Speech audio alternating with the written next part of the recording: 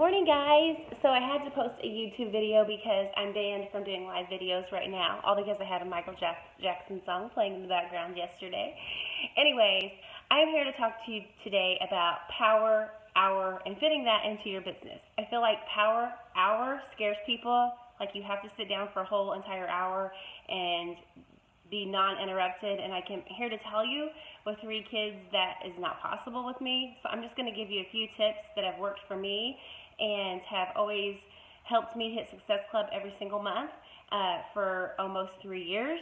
So I'm just going to give you a few tips. I do the miracle morning. I know a lot of you know all about that. I'm not going to get into that, but I do get up earlier, especially when I know that I'm not going to have any other time to do those things. I will tell you I can knock out 15 messages on my list, on my Teamzy list.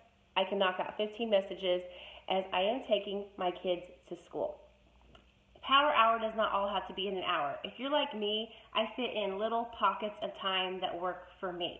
So, on my way to school, which is like 10 minutes to drop off Bentley, I am either doing my personal development or I am knocking out a good 10 to 15 messages with the voice messenger app because Lord knows we can't text and drive and you do not want to see that with me. But I am sending out voice messages and inviting people to my accountability groups, the coaching opportunity, my coaches, just seeing how they're doing, or, you know, saying, hey girl, like this is an invitation to me.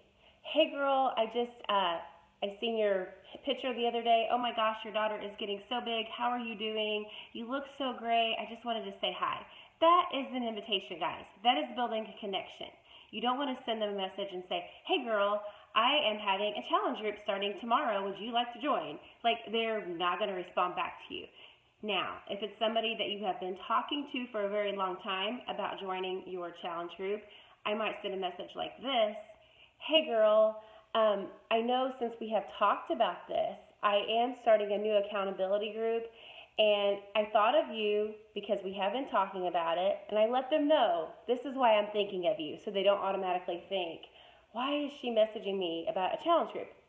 I say, because we've talked about it in the past, I want to message you and just, you know, invite you to my next challenge group. Is this something you would be interested in? When you're doing those invites, Remember, start with a compliment and end with a question. If you end with a question, they're more than likely going to get back with you, and also if you start with a compliment.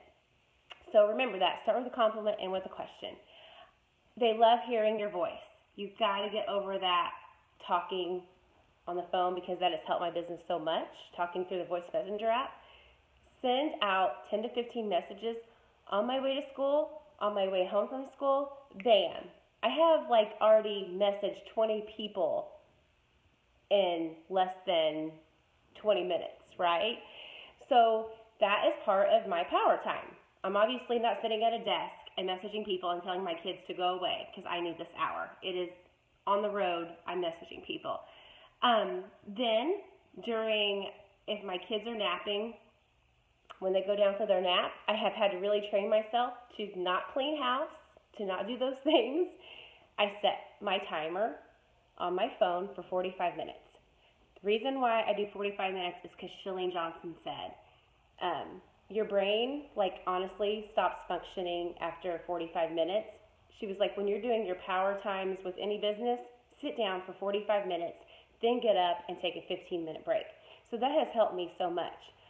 So if they're napping, I will sit down at my desk and I will set my timer for 45 minutes and guess what? I will open my Teamzy. I will turn off Facebook notifications. I will turn off my Messenger app so I'm not interrupted.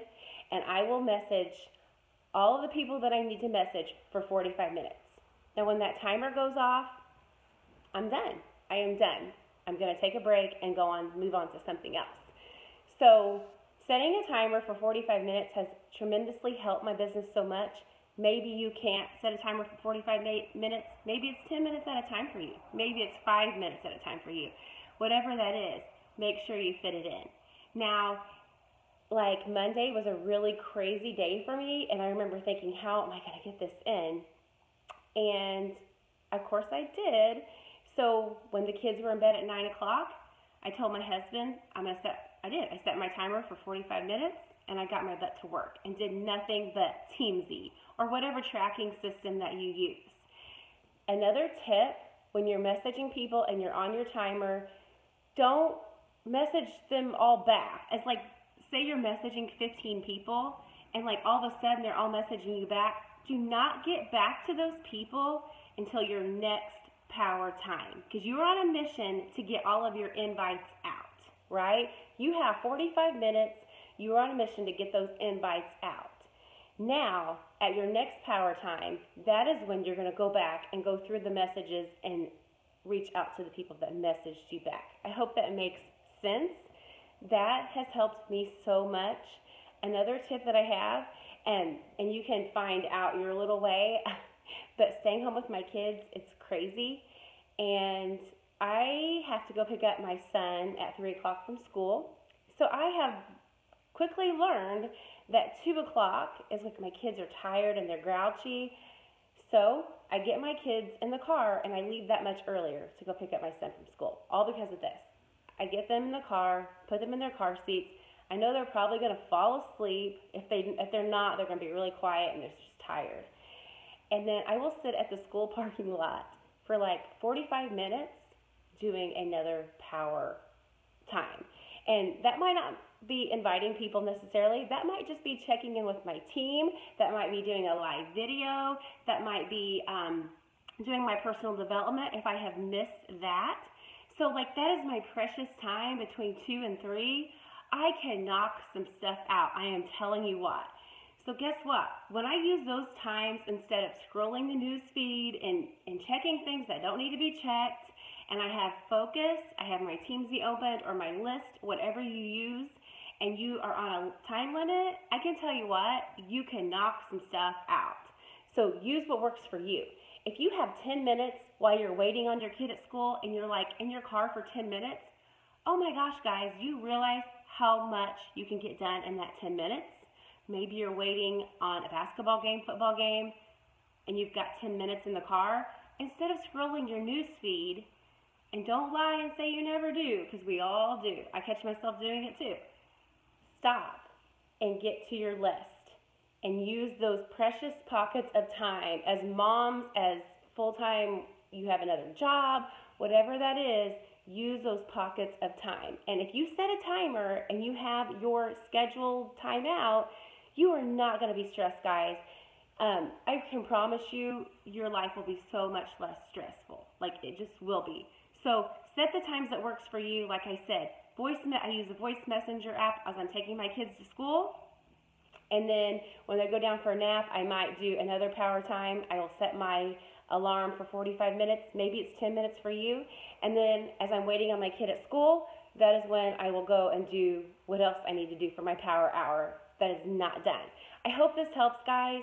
But number one, turn off your notifications, turn off the news feed. If that distracts you, I know the people that are on my news. I know the people that scroll the news feed because they're the ones liking my posts all the time. Like, I'm not to be rude, but I I am very careful not to let myself get on the news feed because it's distracting and you have a mission. And if your why is strong, you're going to keep your blinders on and not worry about what anybody else is doing. And you're just going to keep moving forward, keep trekking along.